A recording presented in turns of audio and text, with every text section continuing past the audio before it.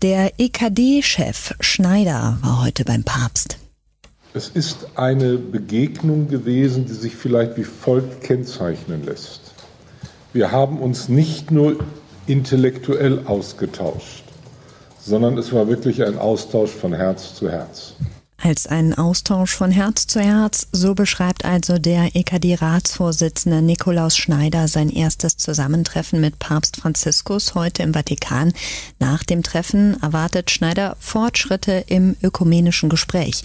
Im Interview mit Radio Vatikan sagte er, Papst Franziskus hat deutlich unterstrichen, wie wichtig es ist, dass wir als Kirchen den Weg des Glaubenszeugnisses in dieser Welt gemeinsam gehen.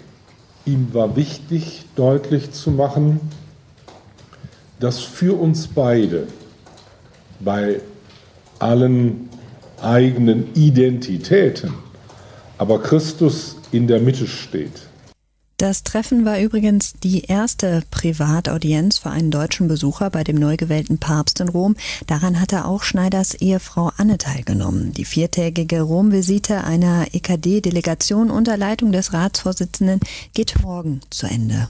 Von meiner Seite aus habe ich deutlich gemacht, dass die Kirchen der Reformation ihm zunächst einmal beglückwünschen, aber ihm auch Kraft wünschen, um alle Anforderungen dieses Amtes zu bewältigen.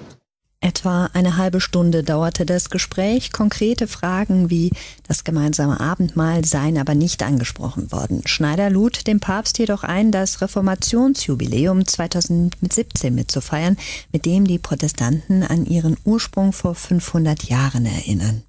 Es soll nicht der Held Martin Luther in den Vordergrund stehen, obwohl wir Luther dankbar sind, dafür, dass er den Anstoß gegeben hat. Diese Dankbarkeit und Freude kommt zum Ausdruck. Aber wofür hat er einen Anstoß gegeben?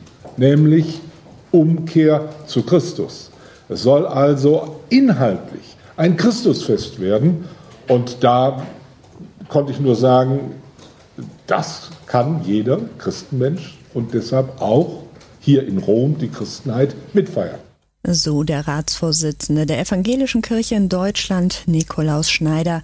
Gegen Ende der Begegnung hätten der Papst und er sich gegenseitig als Bruder bezeichnet und gemeinsam das Vaterunser gebetet.